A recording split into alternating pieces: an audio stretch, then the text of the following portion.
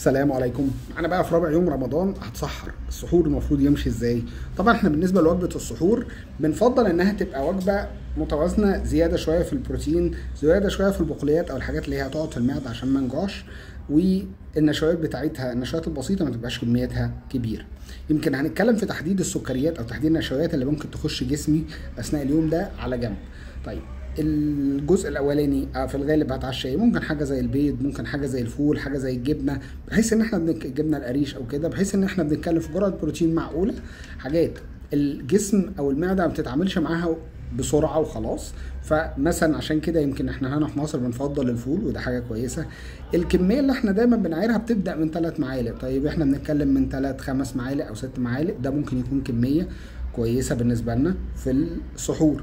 طيب إحنا مثلا ممكن نحاول معاها إن إحنا هندخل سي بالطين مثلا سواء مسلوقين أو لو معمولين بمعلقة زيت آه، سمنة بلدي أو زيت زيتون مثلا معلقة صغيرة. ماشي؟ هو أو جبنة مثلا جبنة القريش مفيش مشكلة عليها شوية سلطة. ممكن نختار اختيارين من دول. ده بشكل عام. طبعا بيختلف حسب وزنك وحسب احتياجات سعراتك بالنسبة للشخص اللي حاسب احتياجات جسمه. اللي معاهم طبعا لو كده ممكن ناخد كوباية زبادي أو حاجة زي كده أو لبن رايب. الحاجة اللي إحنا ما بنفضلهاش قوي يعني في معظم الناس لأ أنا العيش باخد منه كمية. طيب ممكن نعمل حركة سهلة. إحنا الربع رغيف تقريبا بيساوي ثمرة بطاطس مسلوقة. فممكن ناخد ثمرة بطاطس دي ممكن ناخد مثلا ثمرتين بطاطس مثلا مسلوقين نهرسهم بحيث إن هو الساتايتي إندكس معدل الشبع بتاعهم أعلى. فيحسوك بالشبع تاني يوم. ثانيا أنت لما هتاخد نص رغيف كميته بالنسبة لك قليلة فأنت مش هتحس بالشبع بشكل كفاية. إنما لما هتاخد مثلا ثمرتين بطاطس مسلوقين مثلا وهتاخد معاهم مثلا البيضتين أو كده هتحس إنك أكلت أكتر. فعشان كده يمكن دي حاجة من الحاجات اللي بنفضلها أكتر في السحور بشكل عام. بس ما عندناش مشكلة حتى لو كان عيش بس يبقى في الكمية المتاحة بتاعتك أثناء الدايت.